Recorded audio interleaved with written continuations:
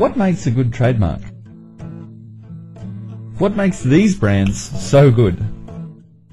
Well, it's a little bit like asking, how long is a piece of string? And it can be difficult coming up with a trademark that's acceptable not only in a marketing sense, but in a legal sense too.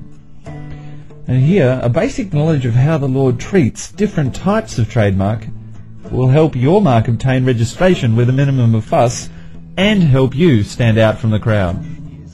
We've discovered a number of basic rules that you can follow to get the most out of your registered trademark. The courts have set out various categories of trademarks. These can be viewed in a sliding scale from poor to best. The worst kind of trademarks are generic or descriptive marks. Examples of generic marks include aspirin and superglue, whilst descriptive marks merely describe the goods or services they relate to, such as World Book and Financial Review. Next category of trademarks are suggestive marks, which suggest a particular quality about their goods or services, like 7-Eleven or WordPerfect. The first principle is that if you are able to be original with your trademark, you're going to get a lot more legal rights. Fanciful trademarks apply ordinary words or images to products or services not normally associated with those images. Think Apple for computers, Penguin for books. Finally, the trademarks arguably afforded the best monopoly at law are inventive marks, or those that are completely made up.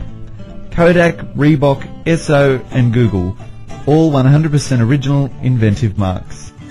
Beyond those four categories, which have increasing levels of protection for a trademark, give you more monopoly, there are also some additional rules that you should follow.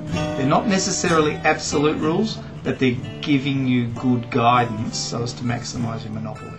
These rules of thumb include Typically stay away from surnames as they are difficult to register, as are geographical names, and these are often rejected.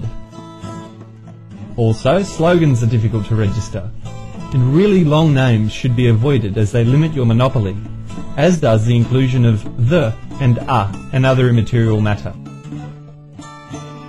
As in many other areas, rules are there to be broken.